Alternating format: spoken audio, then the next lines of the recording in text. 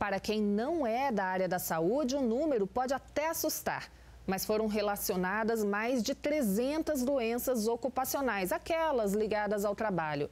A atualização da listagem pelo Ministério da Saúde é importante para que a empresa e o INSS reconheçam os diferentes tipos de doenças. Oscilações de humor, impaciência, ansiedade, insônia, crises de choro.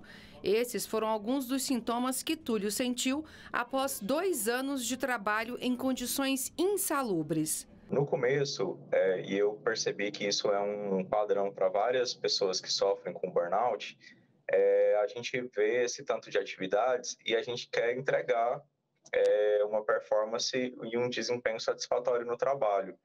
Então, a gente abraça esse excesso de atividades e tenta se dedicar ao máximo àquilo, né? Sem perceber que ao, aos poucos a gente está começando a ficar doente. No psiquiatra, Túlio descobriu que estava com burnout, que é a síndrome do esgotamento profissional, depressão e transtorno de ansiedade. E só depois que eu me afastei é que eu percebi realmente o quão doente eu estava. Então, aos poucos, vai vindo aquela consciência de que você tem que realmente se desligar do trabalho, tem que dar uma pausa na sua vida para poder se recuperar. As três patologias diagnosticadas em Túlio foram incluídas pelo Ministério da Saúde na lista de doenças relacionadas ao trabalho, uma listagem que não era atualizada desde 1999. O rol de diagnósticos ganhou 165 novos itens, passando de 182 para 347 doenças laborais. O acréscimo entra em vigor no final de dezembro. A relação entre o adoecimento e o trabalho.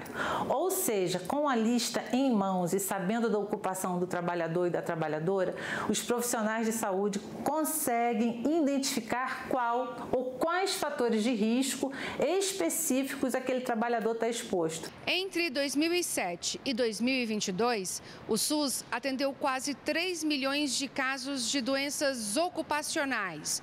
Quase 53% das notificações eram relativas a acidentes graves de trabalho. Só em 2023, mais de 390 mil notificações relativas a doenças ocupacionais foram registradas. Alex é dono de uma empresa de saúde e segurança do trabalho, que realiza cerca de 700 mil exames por ano.